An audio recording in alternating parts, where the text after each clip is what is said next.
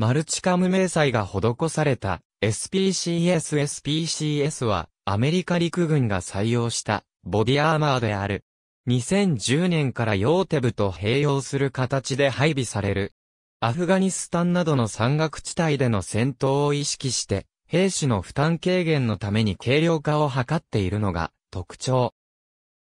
従来のヨーテブを置換するものではなく追加装備として支給され、ヨーテブと SPCS のどちらを作戦で使用するかは、その場の指揮官の判断に委ねられる。なお、特殊部隊にはさらに軽量なアンバブが支給されている。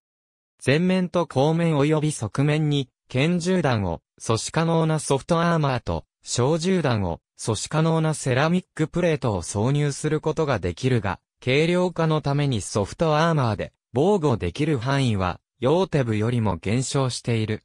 ソフトアーマーだけでも使用できるほか、側面部分は取り外すことができるため、任務に応じてさらなる軽量化も可能となっている。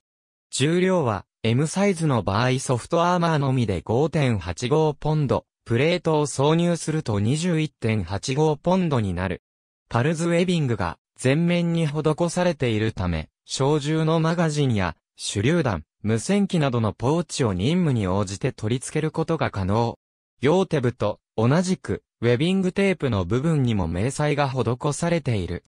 明細に関してはアフガニスタンに派兵される兵士に支給されるものは、ユーシップではなく現地で行われたトライアルで勝利したマルチカムが採用されている。